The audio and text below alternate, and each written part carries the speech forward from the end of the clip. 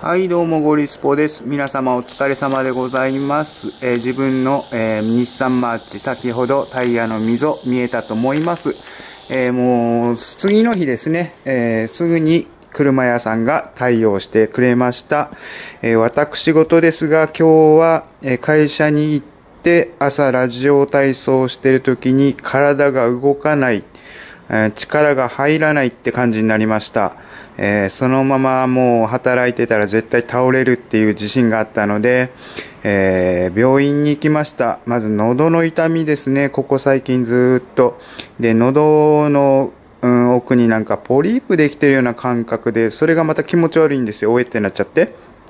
で、自分一回大きな病気してるんで、それさえもちょっと想像して病院に行きましたが、自分は今日は、えー薬をいただいて、ここに PA 配合剤とか、えーっと、何ですか？うん、ソランタール錠、はい、トラネキサム酸とかなんとかいただいたんですが、自分は、熱中症っていう形になりました。はい。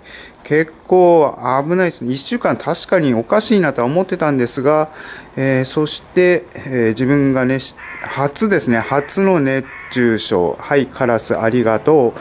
えーそして自分はね、カスタム動画なんで、えこちらですね、え最近届きました。40409-04トランスミッションスプロケット 29T、えーやっと届きました。これはデーラー経由じゃなかったんでね、相当、えー時間かかりました。で、このトランスミッションスプロケット 29T を測りで測ってみたいと思います。はい、ゴリはもうただでは転びません。うんよいしょ。これ結構重いと思いますよ。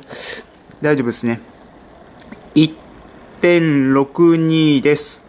1.62、もうちょい2キロぐらいあるぐらいの、あれ、あの、重さはあるんですけど、実際ちゃんと測ると1.62でした。えーそして今のバイクの状況ですね。はい。正直ちょっと喉痛いんで、明日でもカスタムのためにちょっと今日はあのパワーをずっと貯めてました。向こうにある、えーアルミ製のスプロケットがどのぐらいのこの重さなんかちょっとやってみたいですけど、まあもう今それやってもしょうがないですからね。はい。そんな感じで。あと今日ちょっと自分ツイッターやり始めてて、今日ちょこっとあの熱中症になっちゃったって言ったら、えらいみんなあのびっくりするぐらいのコメント数、あの安静に安静にってちゃんと安静にしてました。はい、大丈夫です。そんな感じで、えータイヤの話は大丈夫、えーそしてそこから、えー熱中症のお話と、えこちらですね、トランスミッションスプロケット。明日は、うーん、